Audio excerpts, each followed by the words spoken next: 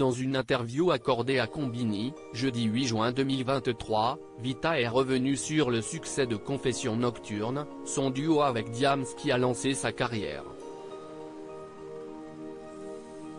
Une chanson inspirée de sa vie, d'une de ses peines de cœur. C'est culte. Au milieu des années 2000, Diams était au sommet.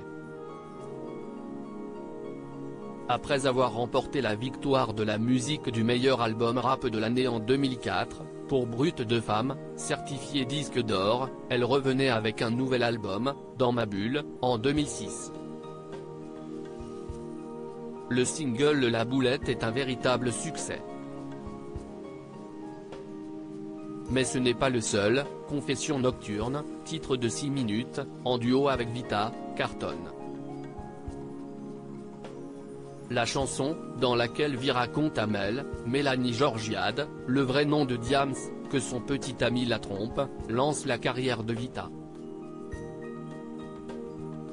L'histoire du répondeur était vraiment mon histoire à l'occasion de la sortie de son nouveau single Charlotte, référence à son vrai nom Charlotte Gonin, Vita est revenue sur la jeunesse du tube Confession Nocturne, dans une interview accordée à Combini, jeudi 8 juin 2023. À l'époque, la chanteuse venait de débarquer à Paris, depuis Mulhouse, pour tenter de trouver une maison de disques. J'ai écrit et composé tout mon premier album, mais personne ne veut de moi, confie-elle. Elle habitait chez son ami Diams, qui lui a dit, je veux absolument qu'on fasse un titre ensemble sur l'album.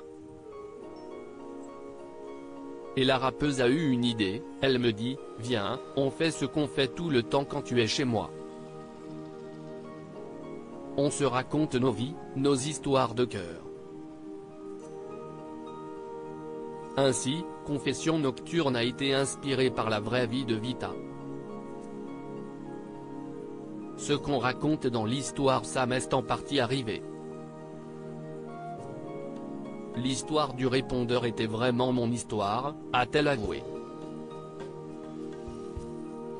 Et d'ajouter, on rajoute une tonne de trucs, on casse la voiture, ça, ça ne m'est pas arrivé.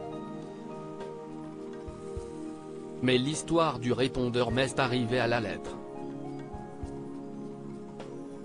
En fait, ce que je raconte, si est ce que j'ai vécu deux ans avant. De mauvais souvenirs, une bonne chanson.